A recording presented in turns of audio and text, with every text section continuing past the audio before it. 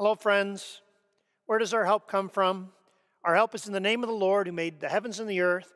Our help is in Jesus Christ, who is the same yesterday, today, and forever. Today, for Larry's musical devotion, he will play on the piano an arrangement of the hymn, My Life Flows On in Endless Song. That's a wonderful old hymn, and when I sing that hymn, I always think of the story from Acts 16 of Paul and Silas in the Philippian jail. Just to remind you of the story, Paul and Silas are in Philippi and they heal a servant girl, and that makes some of the wealthy merchants in that town really, really angry. And so Paul and Silas get arrested and they get thrown in jail, they get beaten, and they're put in stocks in the deepest, darkest part of that jail, in the dungeon, in, essence. And what do they do in the middle of the night when they're in the dark, and their future is deeply uncertain, when they're isolated in that place, they sing hymns. They sing hymns in the face of their uncertainty, in the middle of their isolation, and the Bible tells us that all the other prisoners were listening. I think that's an inspiration for us as we consider our isolation and uncertainty. And now, before Larry plays, let me read you just verse one of this hymn. My life flows on in endless song above earth's lamentation. I catch the sweet, though far off hymn that hails a new creation. No storm can shake my inmost calm when to that rock I'm clinging. Since Christ is Lord of heaven and earth, how can I keep from singing?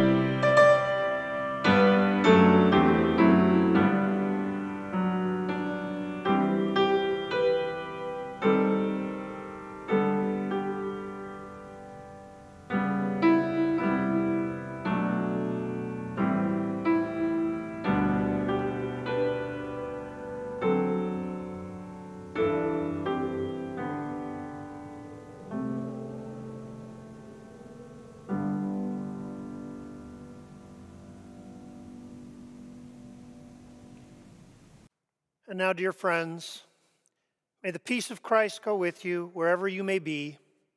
May he guide you through the wilderness and protect you through the storm. May he fill you with thanksgiving at the wonders he has shown you, and may he bring you home rejoicing face to face again once more. Amen.